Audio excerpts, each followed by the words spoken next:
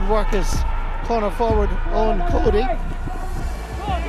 Can he have it in a good position? Finally, chance of a goal! Oh, fantastic! The back of the net.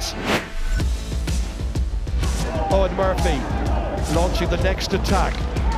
Held on beautifully here. That's Eoin Cody again. It gives it inside here as far as Martin Keoghan. Keoghan is about 35 minutes out from play and strikes it beautifully right between the uprights. His first of the day.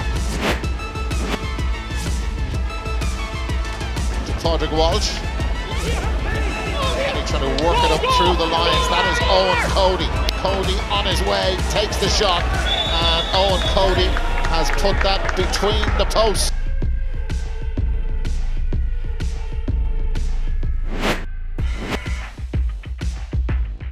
They're turned over. Yeah, and there's the risk of it playing the ball out short if it's not precise, and Eoin Cody accepts the early Christmas present.